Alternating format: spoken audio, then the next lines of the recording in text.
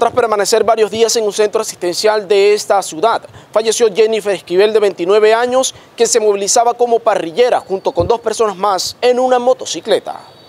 En un centro de salud de Valledupar falleció la mañana de este miércoles una joven de 28 años de edad que sufrió un accidente el pasado viernes cerca de Macro al norte de Valledupar. Se trata de Jennifer Esquivel Gómez de 29 años, de ocupación comerciante, oriunda de Valledupar, quien se movilizaba como parrillera en la motocicleta junto con su novio y su hija de 13 años, los cuales minutos antes habrían estado en el río departiendo. Su novio, quien al parecer conducía la motocicleta, perdió el control y todos cayeron a la carretera.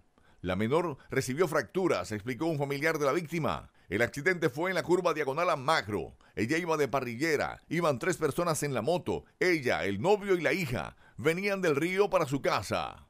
Esquivel Gómez fue auxiliada de la ambulancia y llevada a la clínica Erasmo donde finalmente se presentó su deceso. La policía de tránsito llevó a cabo la inspección al cadáver y la trasladaron a medicina legal para la necropsia de rigor.